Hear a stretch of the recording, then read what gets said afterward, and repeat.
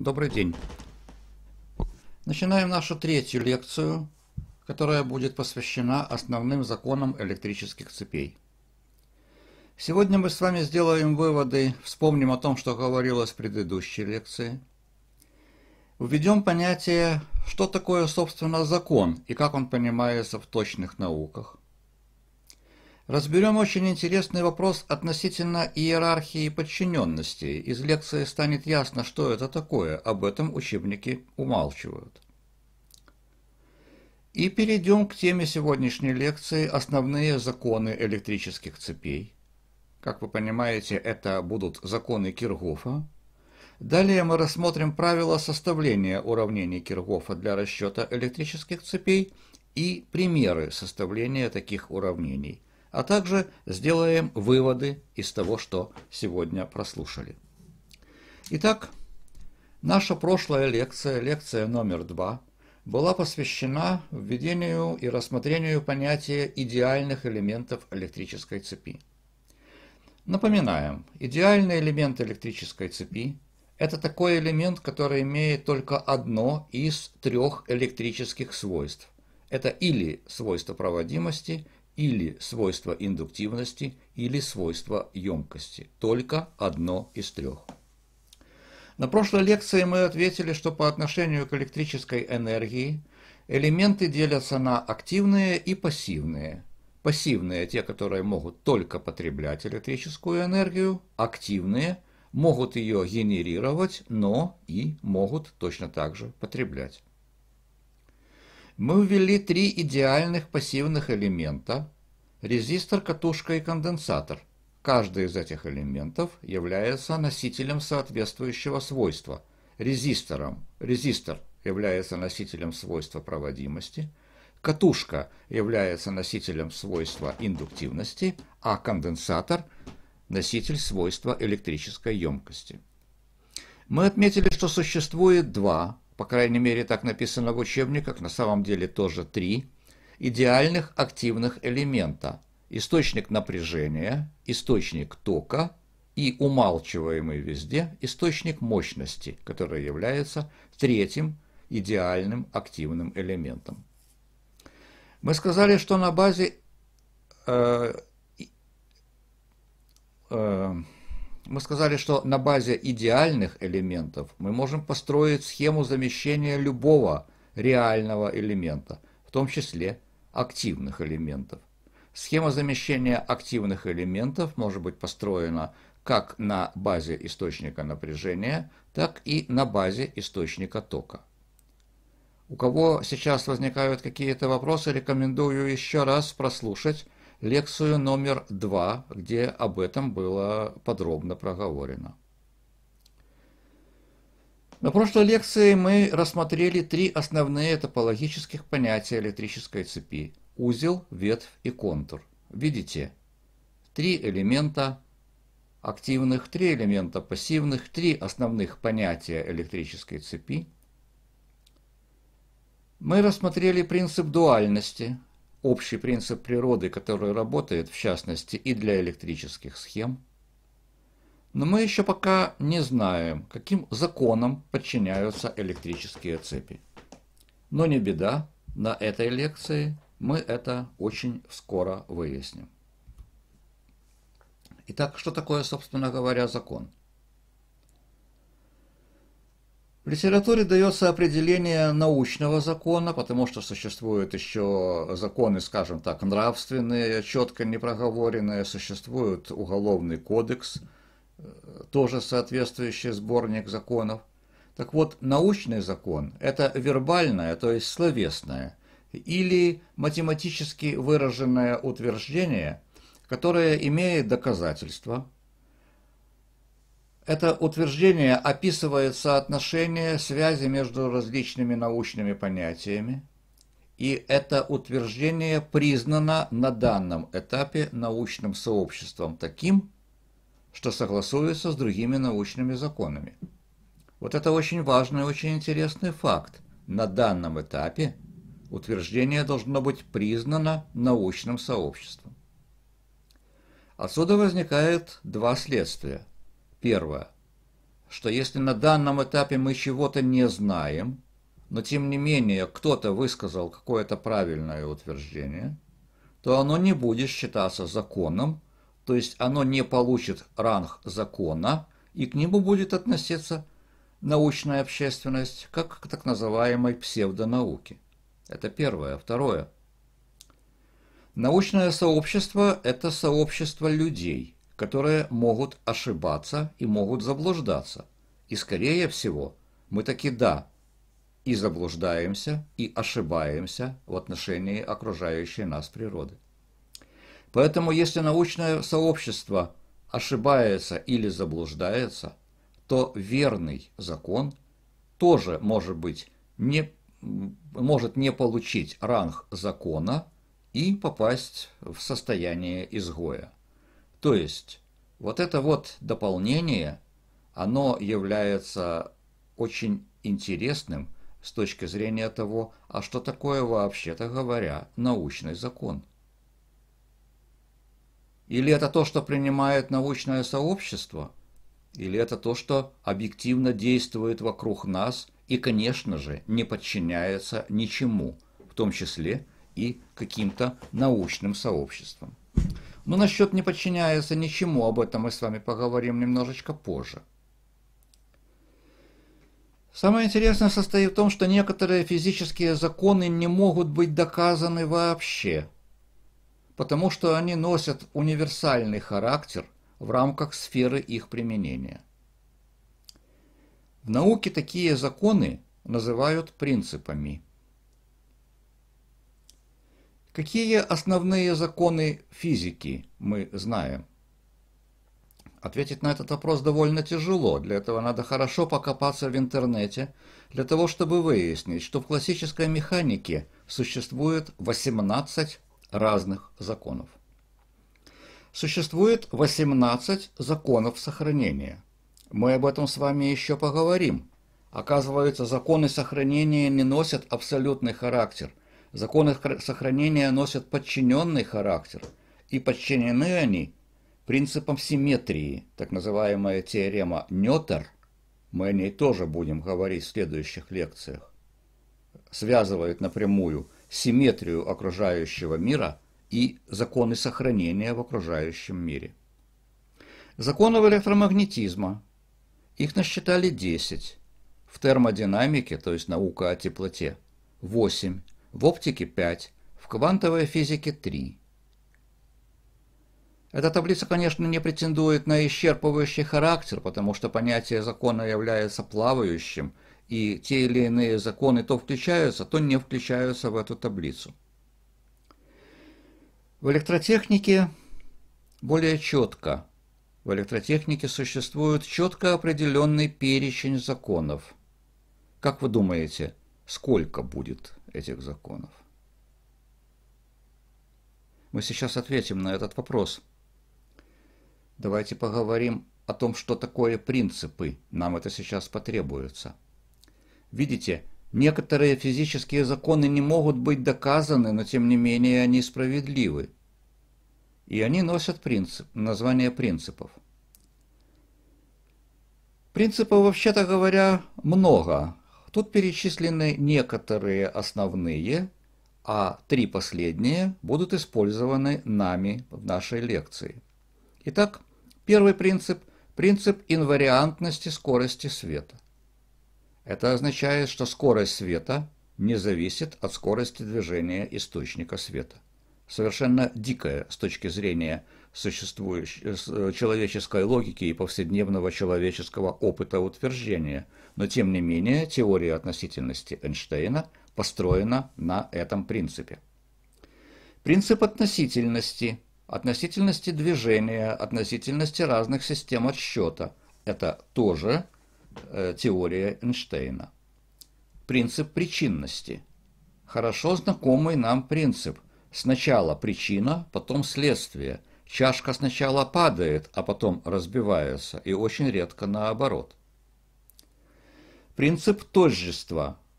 Многие вещи в физике в мире вокруг нас являются очень подобными, тождественными.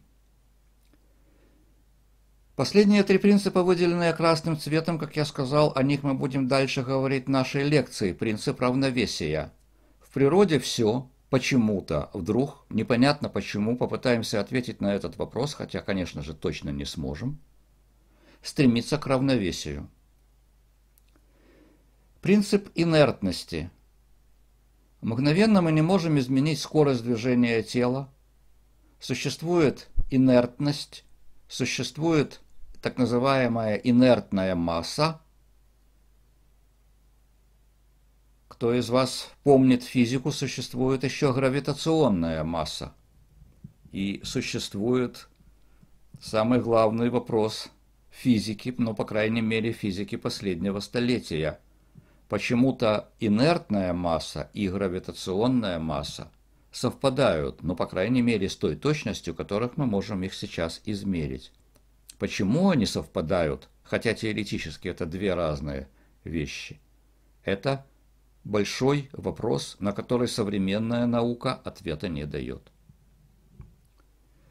В электротехнике, особенно в теории полей и в теории электрических цепей, действует принцип суперпозиции или принцип наложения. Мы тоже будем о нем говорить в свое время.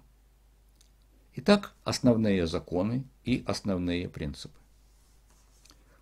Ну а теперь несколько слов о том, о чем не пишут учебники не только теоретических электротехников, но и физиков. Поговорим об иерархии подчиненностей в природе. Давайте начнем с самого нижнего уровня, с кучи вот этих вот квадратиков, которые озаглавлены одним названием – явления. Вообще-то говоря, вся наша жизнь состоит из явлений. Мы живем в явлениях. Наша жизнь сама является явлением. И вокруг нас ежедневно, ежеминутно, ежесекундно происходит огромное количество явлений. Всходит и заходит солнце, меняет фазы луна, падает лист на дереве,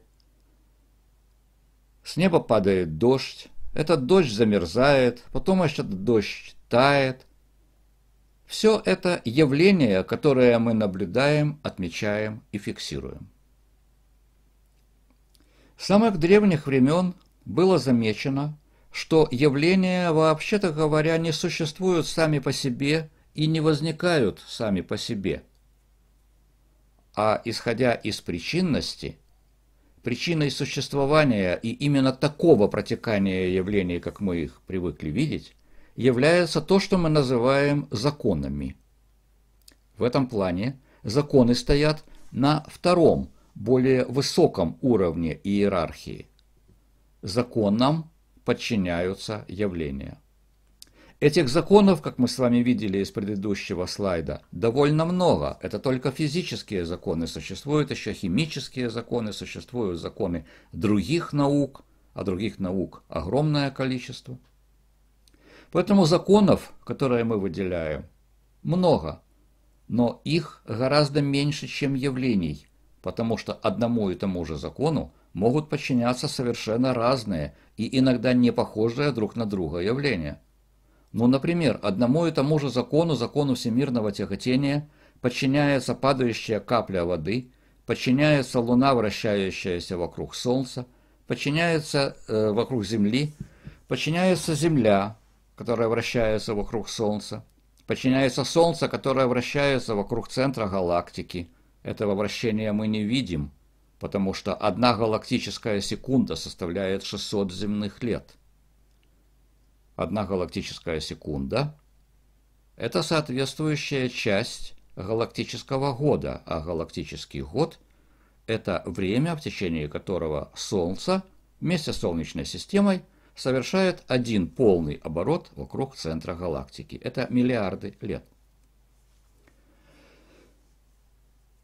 Таким образом, законы определяют те явления, которые мы видим повсеместно. Явления протекают так, а не иначе, потому что явления подчиняются законам. Ну а теперь давайте перейдем на следующий уровень абстракции – Тут мы применяем абстрактное мышление. Человек способен мыслить абстрактно. Спасибо за это. Если явления подчиняются законам, то чему тогда подчиняются законы? Почему действует закон всемирного тяготения? Почему угол падения равен углу преломления? Почему скорость света является постоянной величиной? Почему Е равняется МЦ в квадрате? Физика не дает ответов на этот вопрос, физика лишь констатирует факт. Оно так. Почему оно так? На некоторые вещи мы уже подошли к ответу на этот вопрос, на эти вопросы. Относительно большинства мы можем только догадываться, а в отношении огромного большинства даже и не догадываемся. Ну давайте в конце концов, нам ничего не стоит немножечко, опять-таки с точки зрения абстрактного мышления и логики, предположить, что над законами существуют какие-то другие. Я не могу назвать их объекты, я не могу назвать их сущности, я не могу назвать их явления. Какие-то другие понятия, которым подчиняются законы. Собственно говоря, эти понятия, которым подчиняются законы, мы уже выяснили, и физики их выяснили, и физики их знают, может быть, далеко не все, но знают. Это то, что мы называем принципами. Это то всеобщее, что не может быть доказано, но тем не менее оно существует. Принципов, как мы видели из предыдущего слайда, гораздо меньше, на порядок меньше, чем число законов. Итак, на третьем уровне нашей иерархии находятся принципы. Но что нам мешает пойти дальше? А чему подчиняются принципы? Вот эти сущности, вот эти понятия, они уже неопределимы в человеческом языке. Человечество еще не дошло до понимания того, что такое эти понятия, которым подчиняются принципы. Их можно условно назвать идеей, но это условно, потому что в человеческом языке нет еще термина для обозначения этих понятий.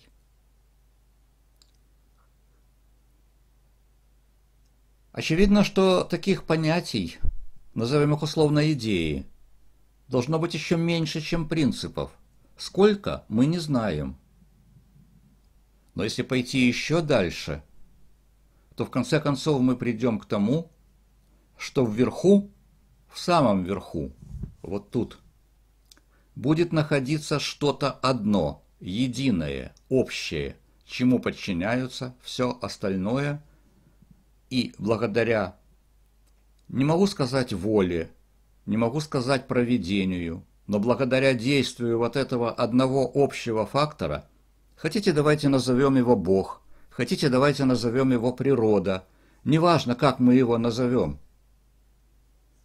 Так вот, благодаря действию этого одного фактора, по нисходящей цепочке, пройдя, каждое утро и сегодня взошло солнце, а вечером оно зайдет за горизонт, и наступит ночь, а завтра наступит еще один день, и будет продолжаться наша жизнь. Видите, сколько интересного находится вокруг нас. К сожалению, современная наука, с глубокомысленным видом давая ответы на вопросы, на самом деле не дает на них никаких ответов – и те определения, которые мы с вами проходили на прошлых лекциях, тоже фактически не определяют до конца понятия, которыми мы пользовались. Помните, например, узел и ветвь. Поэтому, когда человек с глубокомысленным видом говорит «это так», на самом деле это совершенно не значит, что это так. Это мысли данного конкретного человека, это мысли, может быть, вот того научного сообщества, которое тоже может заблуждаться.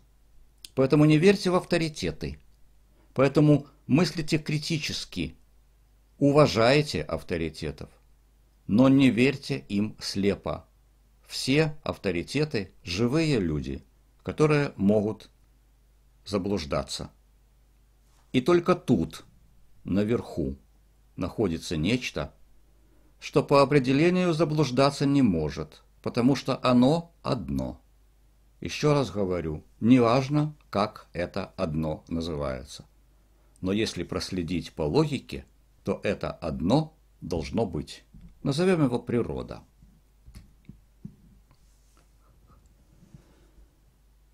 Возвращаемся вниз, возвращаемся к их законам и явлениям, возвращаемся к законам электротехники.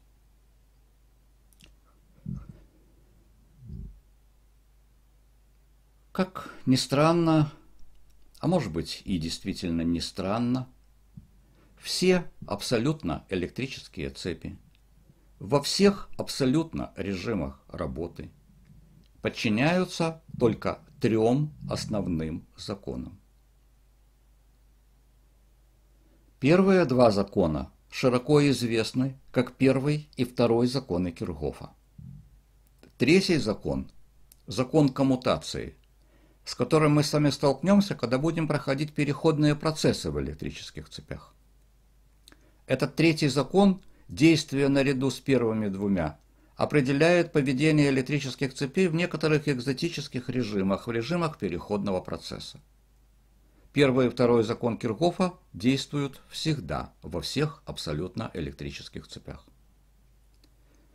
Поэтому можно сказать, что, к счастью, электротехническая наука очень бедна законами. Это не 18 законов механики, а на самом деле может быть гораздо больше. А всего-навсего три закона. Выучить эти три закона, как вы понимаете, очень просто.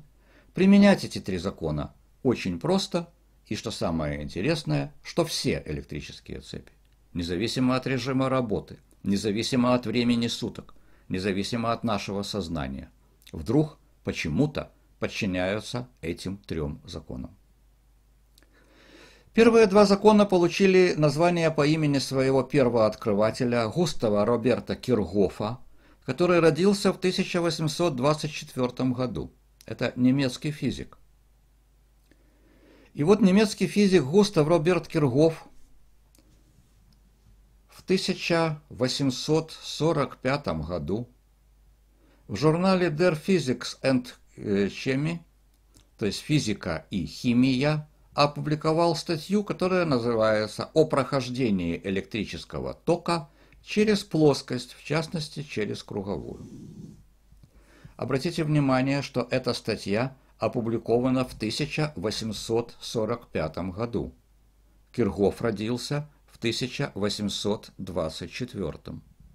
Очень просто отнять одну, даты, одну дату от другой – и с удивлением отметить, что Киргоф написал эту статью в 21 год.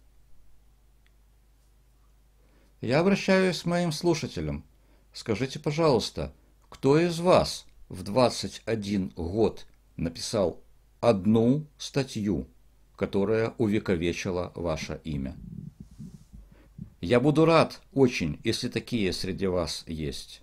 Я, например, Этим похвастаться не могу. Итак, что же определил Киргов в этой статье? Он дал определение основным топологическим понятиям узел, контур, ветвь. И он вывел, что алгебраическая сумма токов в узле равняется нулю, а алгебраическая сумма напряжений в контуре равна нулю. И назвал эти два утверждения относительно суммы токов первым законом, а относительно алгебраической суммы напряжений в контуре вторым законом. Назовем здесь еще и третий закон, для того, чтобы уже быть полными, хотя о нем мы будем говорить значительно-значительно позже. Закон коммутации, который утверждает, что энергия любой системы не может измениться мгновенно. Если вернуться к нашей иерархии подчиненностей, явления, законы, принципы и так дальше, то в данном случае можно сказать, что на уровне явлений находятся все абсолютно электрические явления, действующие во всех абсолютно, без исключения, электрических цепях. Все токи и напряжения данного направления данной величины, все мощности, все то, что происходит в электрических цепях, подчиняется вот этим вот трем законам. Представляете, сколько электрических цепей, сколько явлений возникает в этих электрических цепях. И вот это вот огромное количество явлений подчиняется всего-навсего трем законам Киргофа. Если пойти на ступенечку выше и подумать, каким принципам подчиняются эти законы, то можно умозрительно себе представить, я не претендую на истину последней инстанции. Можно предположить, что первый и второй законы Кирхофа, которые являются, вообще-то говоря, законами равновесия, подчиняются принципу равновесия, который является общим принципом природы. Ну а закон коммутации, который говорит о том, что энергия не может измениться мгновенно, а соответственно и скорость не может измениться мгновенно, а в электротехнике тоже есть аналог механической скорости, мы об этом с вами поговорим в свое время. Так вот, закон коммутации подчиняется принципу инертности. Не будем разбирать, что там находится дальше, мы все равно не сможем этого понять. Давайте остановимся на том, что мы с вами знаем.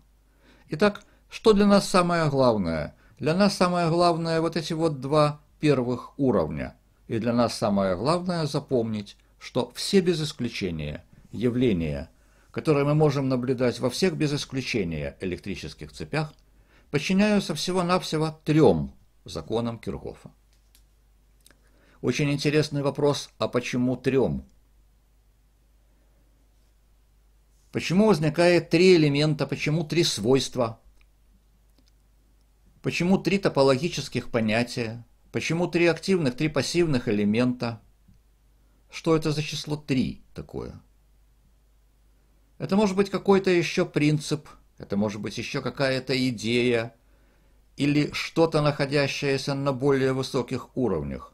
Что-то, что определяет какое-то магическое значение числа 3 а мы видим преломление этого определения во всех явлениях, где эта тройка почему-то вдруг мистическим образом выходит на первый план.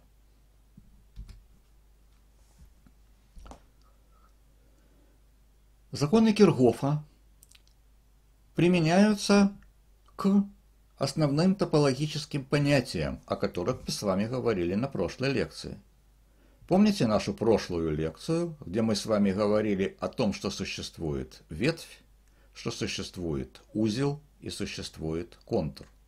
Так вот, первый закон Киргофа применяется к узлам, алгебраическая сумма токов в узле равна нулю. Второй закон Киргофа применяется к контурам, к замкнутым путям по ветвям этой схемы. Остановимся подробнее на законах Киргофа. Итак, первый закон – узел, в нашем случае образованный четырьмя ветвями, которые, в которых действуют четыре разных по величине и разных по направлению токов. Первый закон Киргофа утверждает, что сколько бы ни было ветвей, сходящихся в этом узле – все токи, которые сходящ, сходятся в этом узле, в алгебраической своей сумме дают ноль. Что такое алгебраическая сумма? Помните, чем она отличается от суммы арифметической? Сумма алгебраическая может включать слагаемые со знаком плюс или со знаком минус. В арифметической более простой. Все очень просто, там только плюс. Так вот, если мы говорим об алгебраической сумме токов – то есть какой-то из них может быть с плюсом, а какой-то с минусом, мы должны с вами определить правила знаков. какой ток мы будем считать положительным, а какой ток будем считать отрицательным. В ответ на вопрос, а какое правило знаков существует, могу ответить – любое. То есть вы можете самостоятельно определить для себя правило, которому вы будете следовать записывая уравнение первого закона Киргофа. Ток в каждой из ветвей может иметь одно из двух направлений. Он может быть направлен либо к узлу, либо от узла. Так вот, на самом деле, закону Киргофа абсолютно все равно, с каким знаком мы будем учитывать токи, входящие в узел, а с каким знаком будем учитывать токи, выходящие из узла. В любом случае, сумма алгебраическая с учетом этих знаков будет равна нулю. Но если закону Кирхофа все равно, если природе все равно, то давайте подстроимся под наши, ну скажем так, интуитивно понятные человеческие понятия. Интуитивно понятно, что если что-то куда-то входит, то там прибывает. Это плюс а если что-то выходит, то это минус. Поэтому мы с вами по умолчанию, записывая в дальнейшем уравнение первого закона Киргофа, будем считать токи, которые направлены к узлу, со знаком плюс, а токи, направленные от узла, со знаком минус. Например, для данного узла, который показан здесь, мы должны взять ток И1 в этой алгебраической сумме со знаком плюс. Видите, стрелочка направлена к узлу. Ток И2 мы должны взять со знаком плюс. Стрелочка тоже направлена к узлу. Стрелочка третьего тока, третий ток, выходит из узла. Поэтому в соответствии с нашим договоренностью, нашим правилом, ток И3 берется со знаком минус. Ну и последний четвертый ток – который входит в узел, берется со знаком плюс.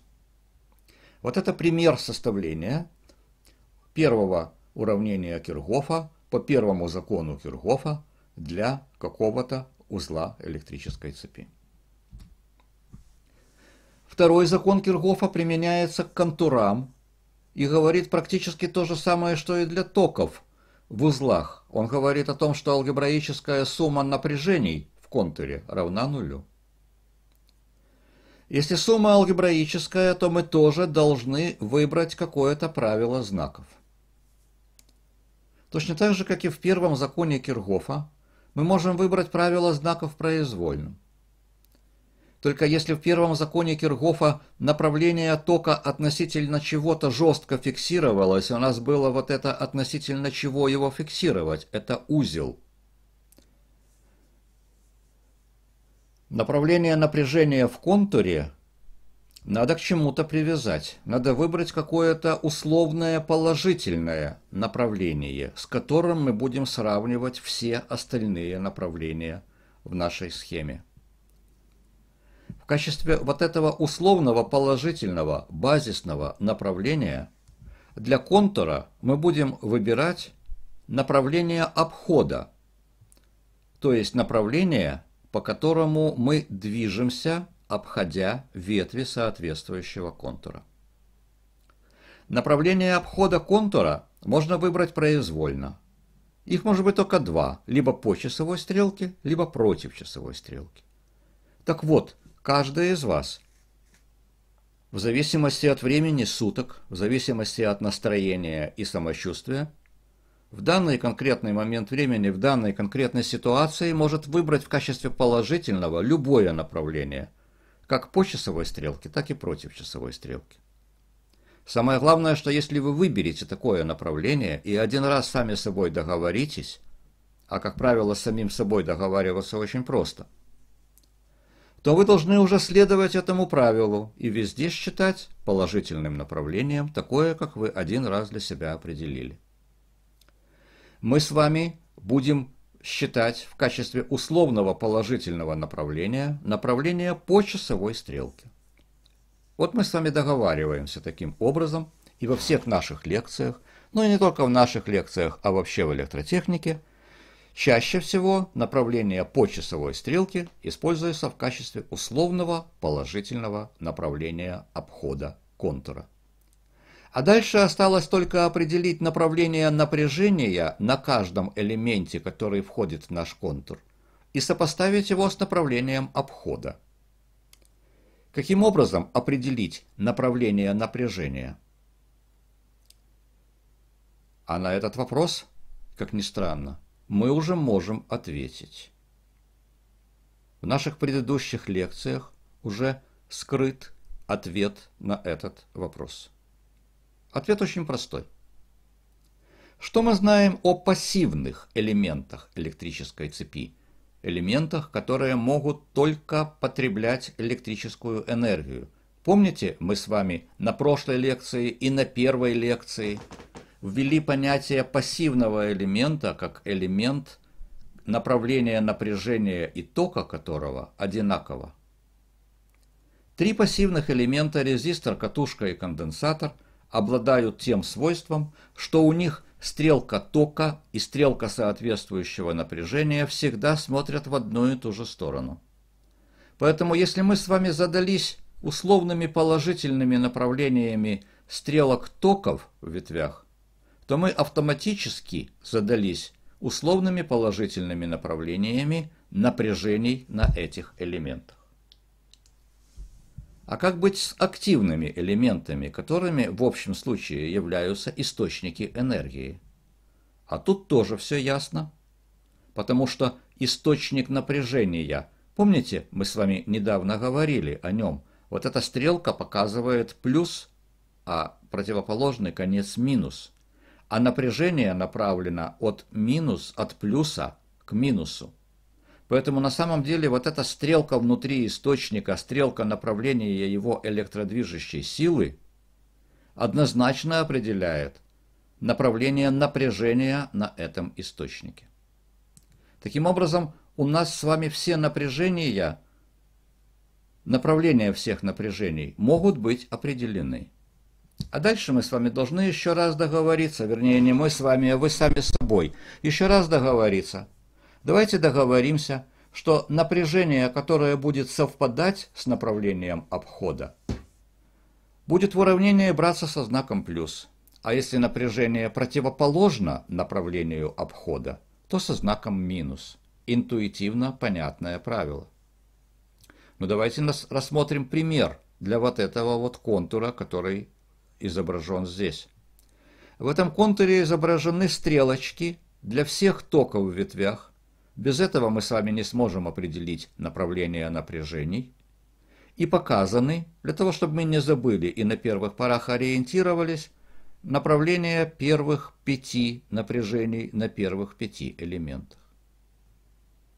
Если мы в качестве условного положительного направления выбираем направление по часовой стрелке, то есть мы идем, скажем, вот из этого узла по часовой стрелке – то направление напряжения на первом резисторе UR1 мы встречаем сонаправленно с обходом, и поэтому ставим плюс здесь, в этом члене этого равенства.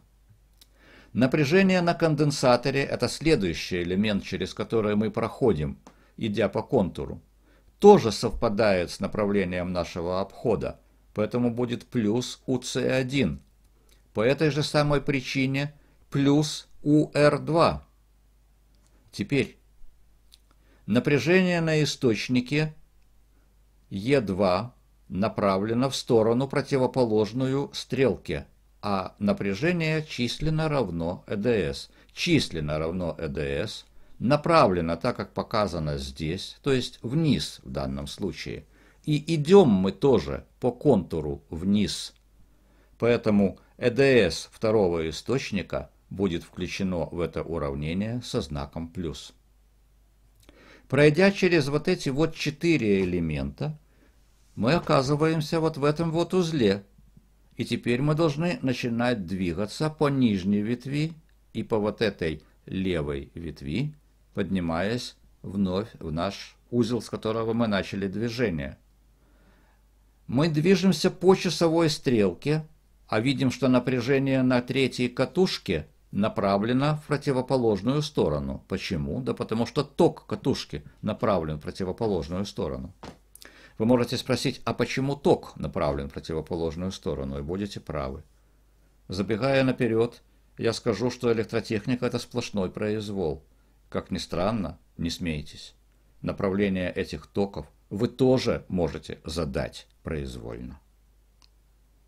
Что из этого будет следовать и как потом определить истинное направление, мы об этом с вами поговорим уже очень и очень скоро. Итак, пока что мы задались направлением тока И3, как показано здесь.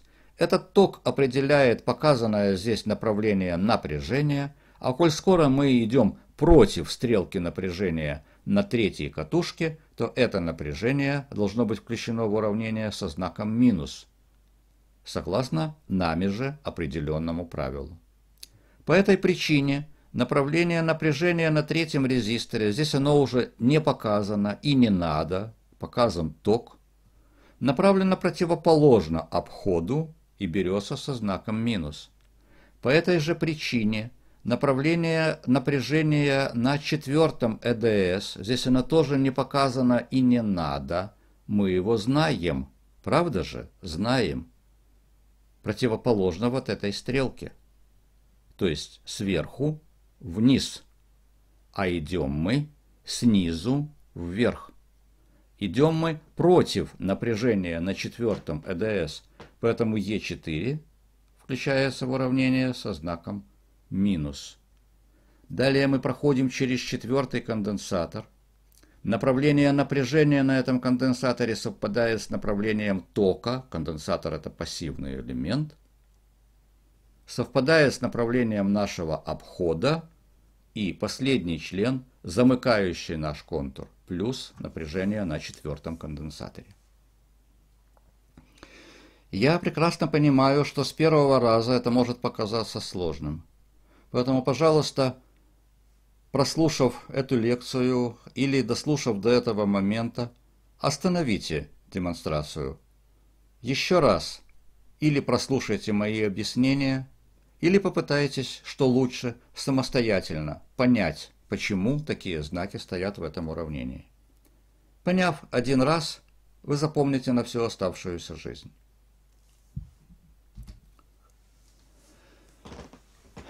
Ну, теперь еще один момент, на который мы должны с вами обратить внимание.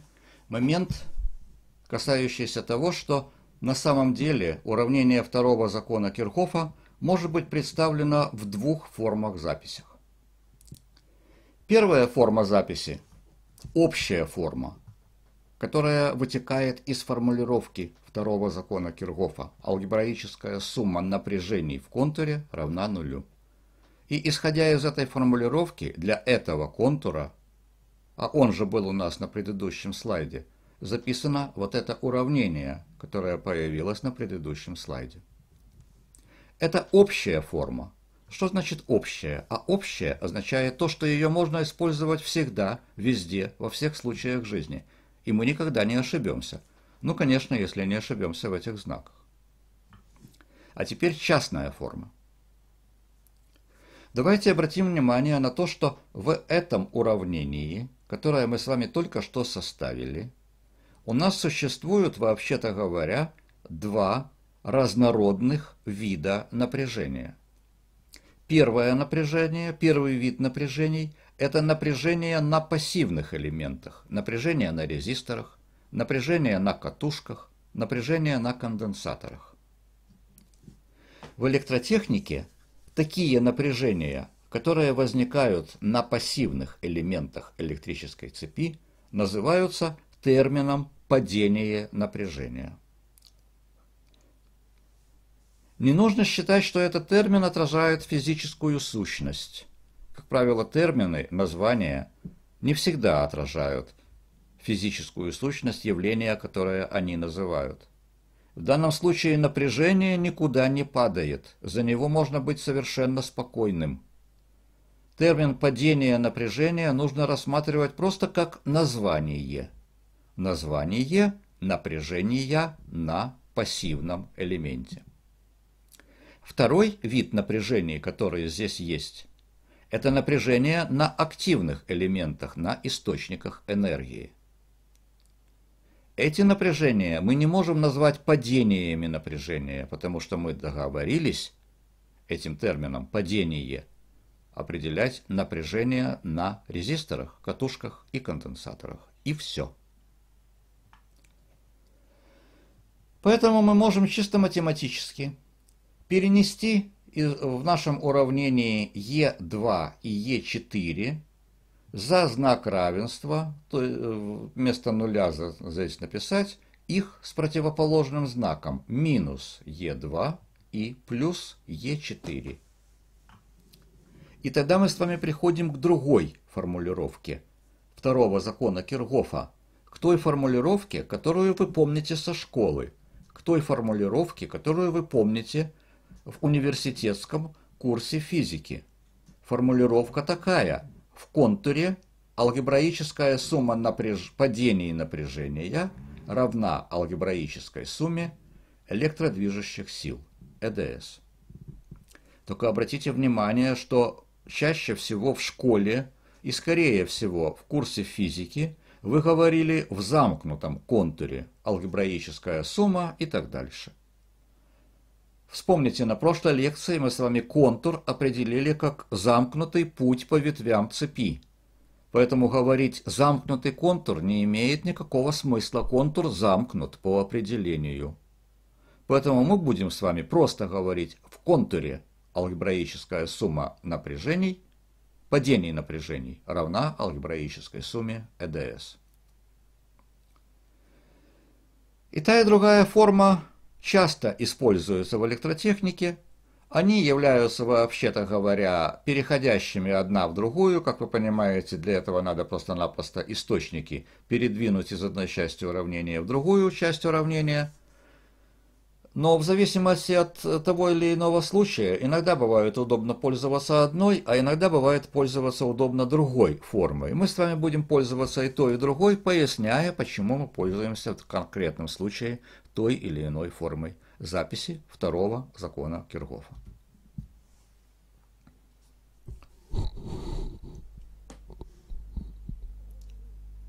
Теперь относительно понятия «частная форма». Вторая форма является частным случаем первой формы.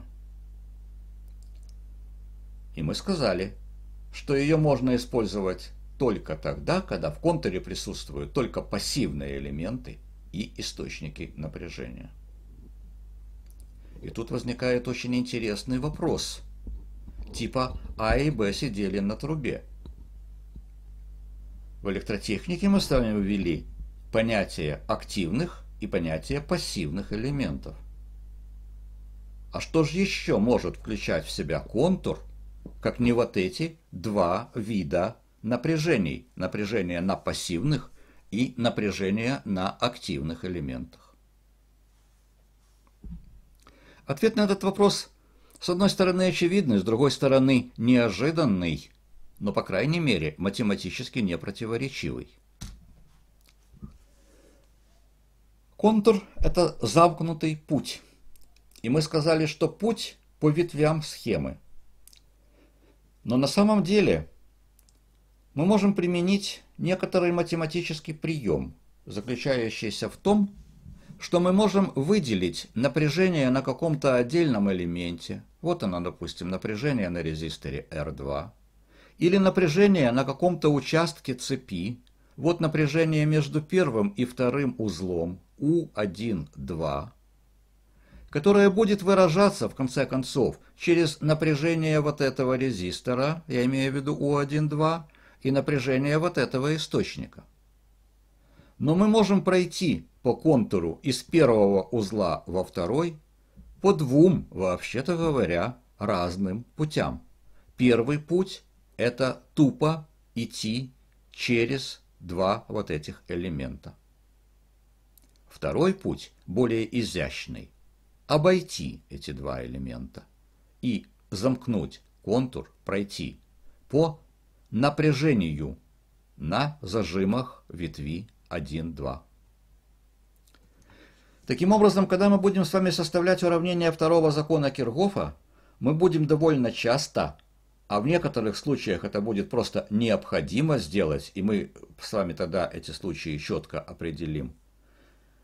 Идти не по ветвям контура, а по напряжениям на соответствующих ветвях или соответствующих элементах. И вот эти два уравнения, тоже уравнения второго закона Кирхофа, записаны для вот таких вот путей. Посмотрите, я боюсь их назвать контуром, но тем не менее. Давайте пройдем из первого узла во второй по напряжению U1,2. Помните, мы договорились идти по часовой стрелке. Вот и идем по часовой стрелке плюс U1,2. А теперь давайте будем замыкать контур по вот этой вот ветви.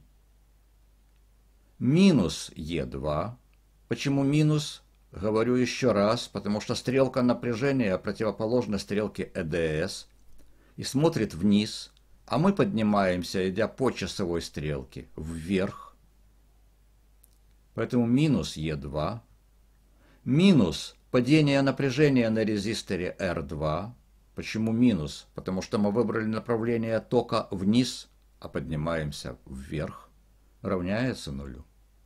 Кстати, из этого уравнения можно найти, чему равняется U1,2.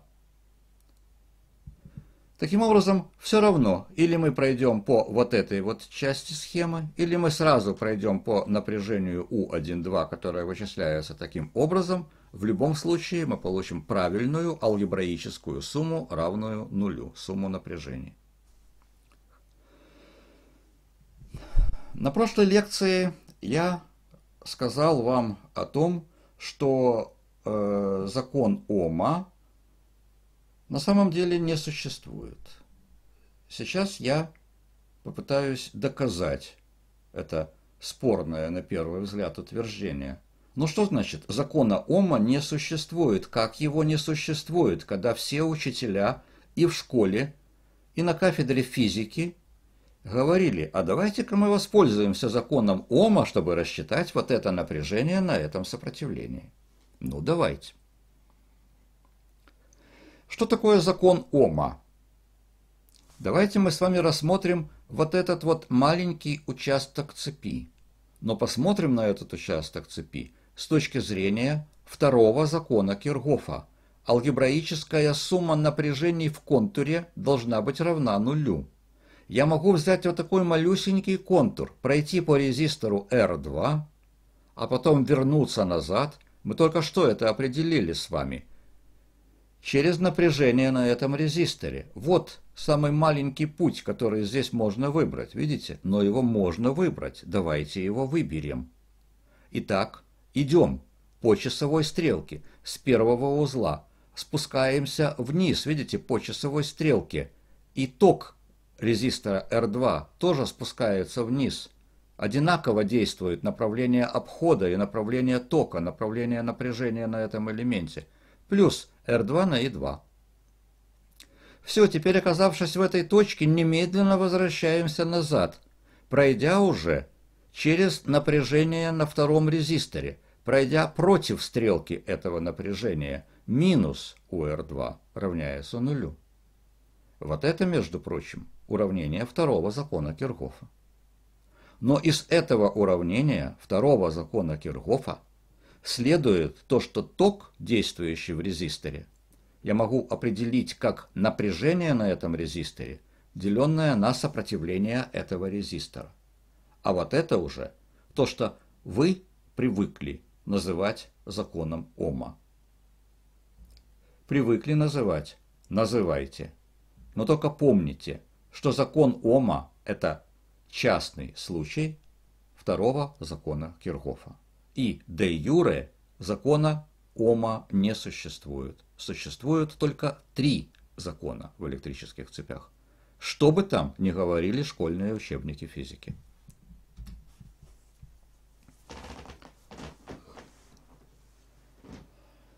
Когда мы рассматривали уравнение первого закона Кирхофа и второго закона Кирхофа, то бросилось в глаза, что первый закон Кирхофа что-то говорит относительно токов, второй что-то говорит относительно напряжений, и вроде бы, на первый взгляд, эти два закона не пересекаются.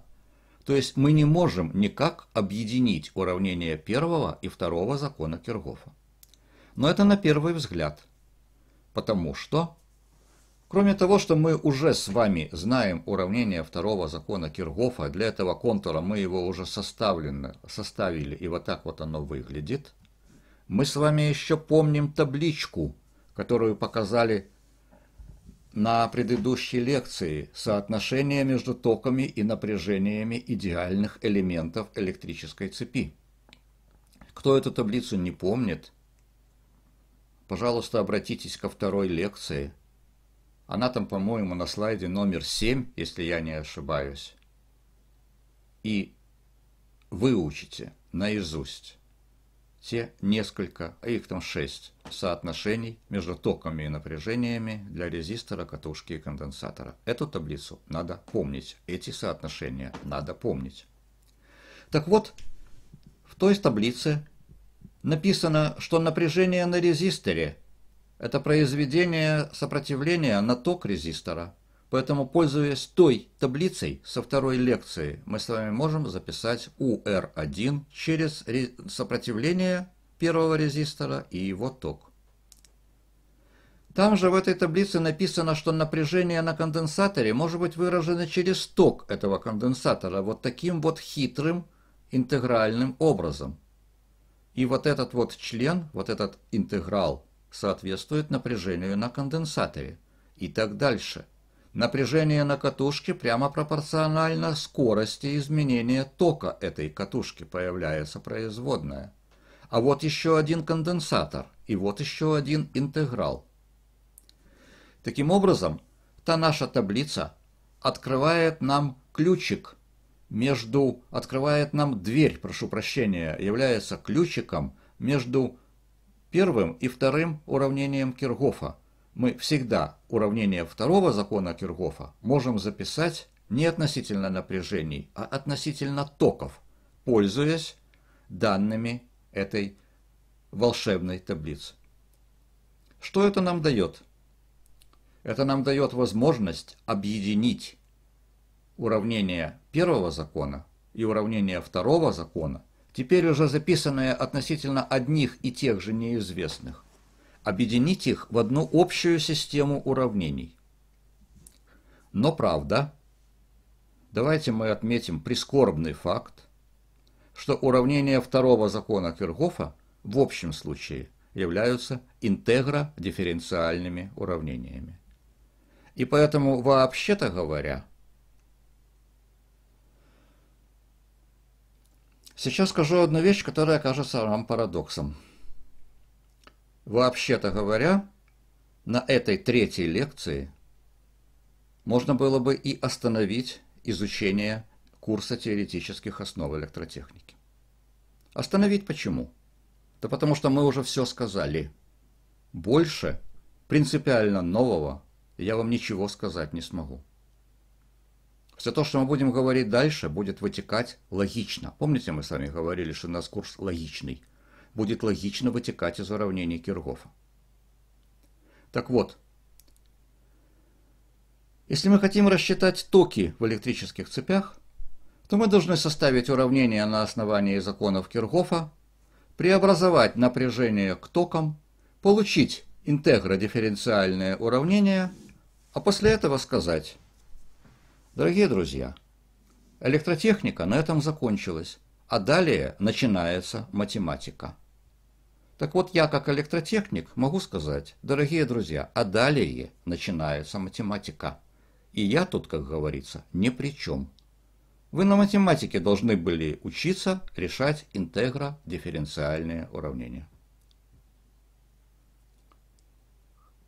Я не буду таким садистом, и я не буду так говорить. А на прошлой лекции, если помните, я сказал, что мы с вами всячески будем пытаться избегать решать вот этих уравнений. И поэтому можно сказать, что вся наша дальнейшая электротехническая жизнь и наши лекции будут посвящены тому, как уйти от решения интегродифференциальных уравнений.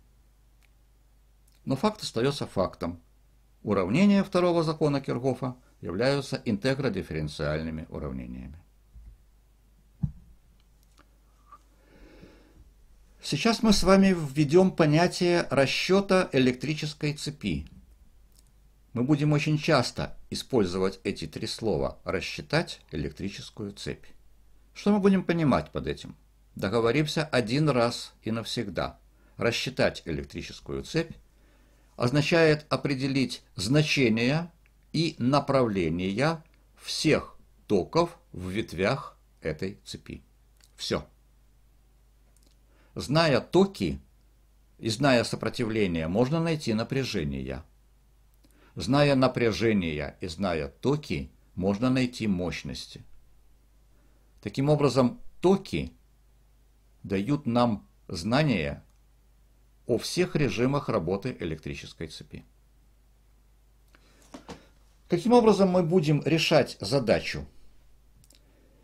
При помощи уравнений Киргофа. А почему я так безапелляционно говорю, что при помощи уравнений Киргофа.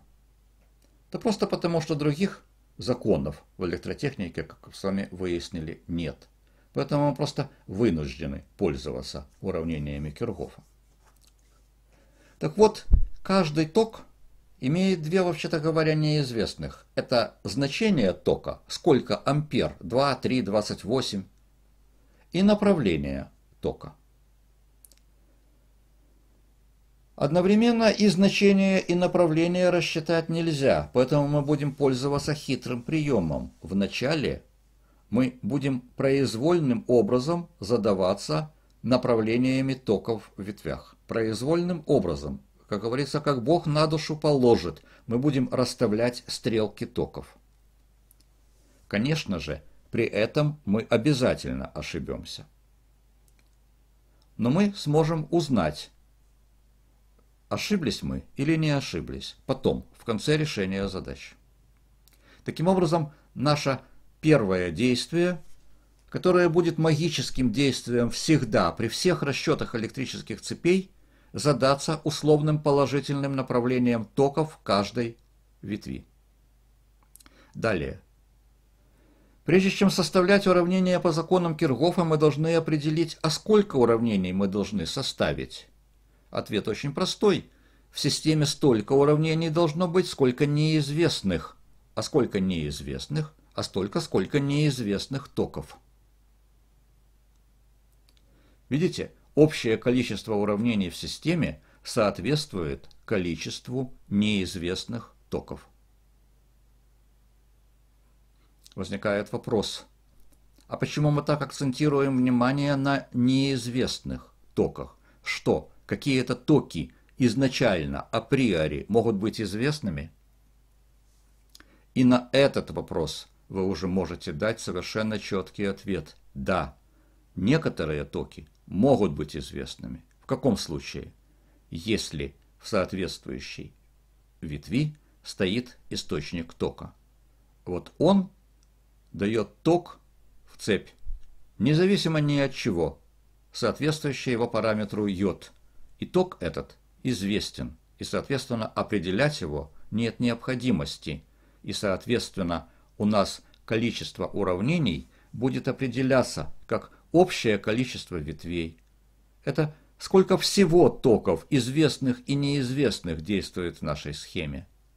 Минус количество ветвей, содержащих источники тока, минус число токов, которые мы уже знаем. Теперь, когда мы определили, сколько уравнений должно быть всего, мы должны их разделить, поровну или по-братски, скорее всего по-братски, между двумя уравнениями, между двумя законами, первым и вторым законом Киргофа. Приоритет здесь у первого закона.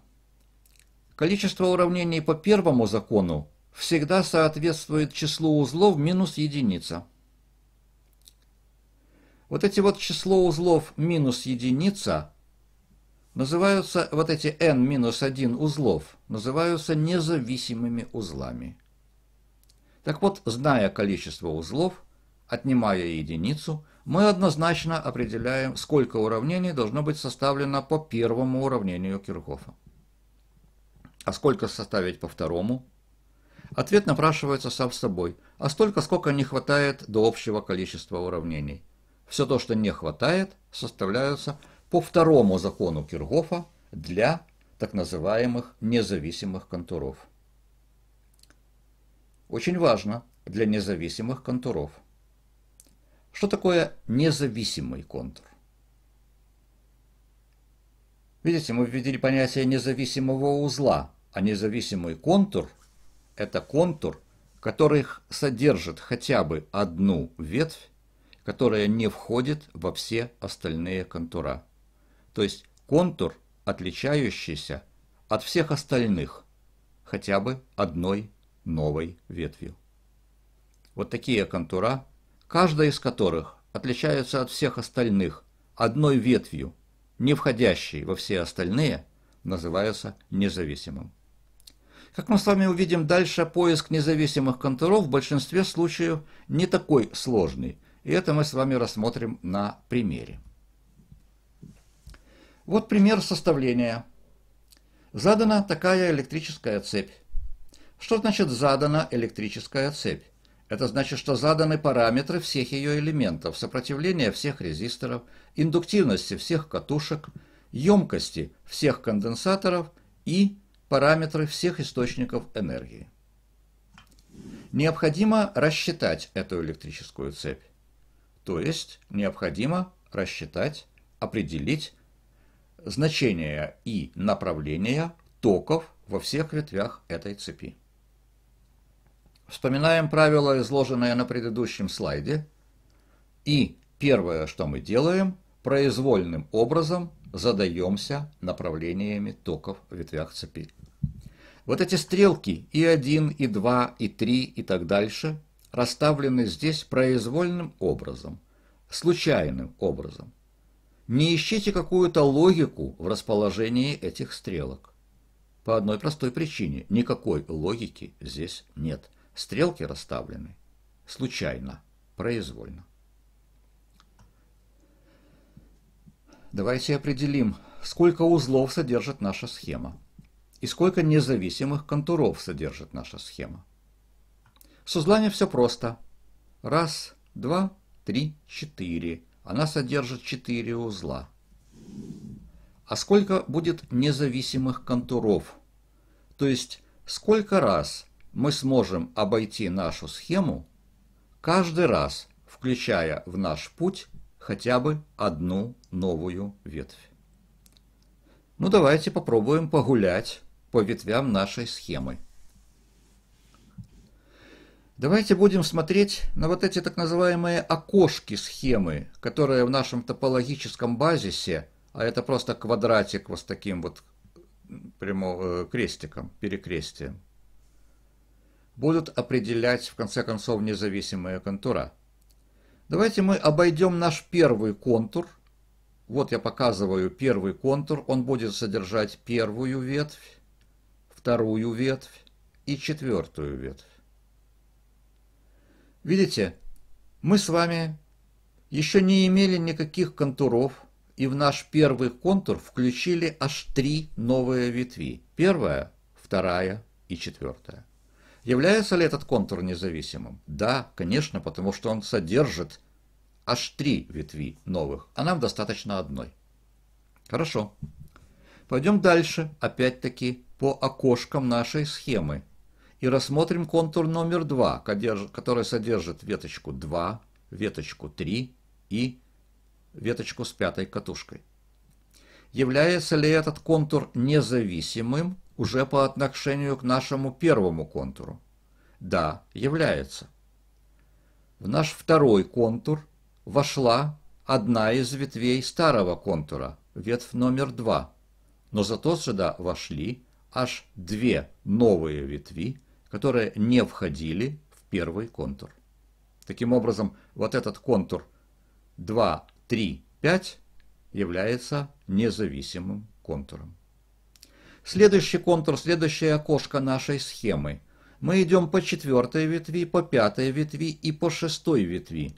Является ли контур независимым? Да, потому что в него входит новая ветвь, шестая, которая не входила в оба предыдущих контура.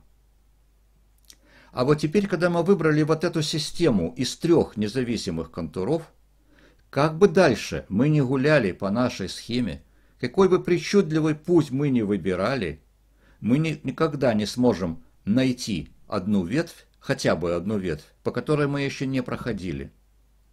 Поэтому все остальные контуры будут зависимыми, и для них мы не будем составлять уравнение второго закона Кирхофа.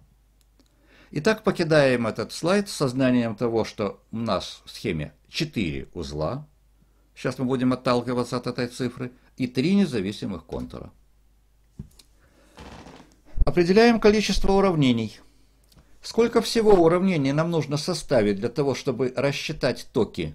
Столько, сколько неизвестных токов. А сколько здесь неизвестных токов? Наша схема содержит всего 6 ветвей – в каждой ветви содержится по одному току, значит, всего в схеме 6 токов. Отвечаем на вопрос, а сколько неизвестных токов? Ответ очень простой. А есть ли хотя бы один источник тока в этой схеме? Нет. Здесь есть два источника напряжения, но ни одного источника тока. Значит, все токи нам неизвестны. Ни один из этих токов заранее в исходных данных задачи не задан. Поэтому в нашей системе должно быть 6 уравнений. Количество уравнений по первому закону Киргофа соответствует количеству узлов цепи, уменьшенной на единицу. Мы с вами сказали только что, узлов 4 уменьшаем на единицу и получаем количество уравнений в схеме по первому закону Киргофа 3. А сколько нам нужно уравнений составить по второму закону Кирхофа? Столько, сколько не хватает до полного количества. Всего нужно составить 6, 3 мы можем составить по первому, значит 3 выпадает на долю второго закона Кирхофа. Обратите внимание, что у нас три независимых контура и получилось. Собственно говоря, в своей статье, о которой мы с вами говорили, Киргоф математически, исходя из теории графов, показал, что это будет всегда. И всегда количество уравнений, количество независимых контуров будут дополнять нашу систему уравнений первого закона до полной системы, которая нам необходима. То есть этот факт математически доказан. Поэтому мы будем составлять в нашей схеме три уравнения по первому и три уравнения по второму закону Киргофа. Пусть вас не вводит в заблуждение совпадение этих двух чисел 3 и 3. Это не значит, что половина составляется всегда по первому, половина по второму. Правила только такие, которые перечислены здесь на этом слайде. И никаких других. А вот сама система из шести уравнений. Первые три уравнения по первому закону Киргофа составлены для узла номер 1, узла номер 2 и узла номер 3. Можете проверить эти уравнения, исходя из знаков и входящих в них токов. Следующие три уравнения составлены для трех выбранных нами независимых контуров. Уравнение номер 4 составлено для первого контура, уравнение номер 5 составлено для второго, и вот это уравнение номер 6 составлена для последнего, третьего независимого контура. Можете проверить еще раз себя, свое понимание того, как вы освоили этот материал. Еще раз внимательно обратившись к этой системе, посмотрев, какие именно напряжения или какие именно токи сюда включены, с какими именно знаками они включены.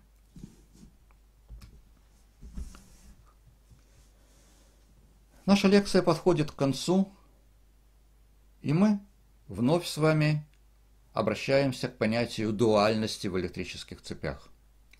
С понятием дуальности мы с вами столкнулись недавно на предыдущей лекции, и мы с вами вот такую табличку составили дуальных понятий, величин или элементов. Эту таблицу после сегодняшней лекции мы можем дополнить еще двумя новыми строчками – строчками, которые появляются, исходя из первого и второго закона Киргофа. Алгебраическая сумма токов в узле равна нулю. Алгебраическая сумма напряжений в контуре равна нулю. Если в первом уравнении Киргофа слово «узел» заменить на слово «контур», а слово «ток» заменить на слово «напряжение», то мы получаем уравнение второго закона Киргофа. Поэтому мы можем сказать, что первый и второй закон Киргофа являются дуальными законами. А входящие в них понятия, а какие в них входят понятия? Напряжение и ток. Для нас они не новые, это дуальные понятия, мы это уже знаем. А вот парочка новых дуальных понятий. Контур и узел. Это тоже дуальные понятия. Эта таблица еще будет пополняться. Она еще не совсем закончилась. Но это уже на следующих лекциях. Итак, что мы узнали сегодня? Мы с вами узнали, что электрические цепи подчиняются трем, для нас это уже не странно, трем основным законам. Двум законам Киргофа и закону коммутации. Мы с вами показали, что все остальные взаимозависимости, в том числе и закон Ома является следствием действия этих основных законов. Законы Киргофа являются универсальными в том плане, что они могут быть использованы всегда, везде, для любых режимов работы в любых электрических цепях. В зависимости от удобства использования мы можем применять две формулировки второго закона Киргофа. Формулировка в виде алгебраическая сумма напряжений в контуре равняется нулю. Основная, всеобщая, работает всегда.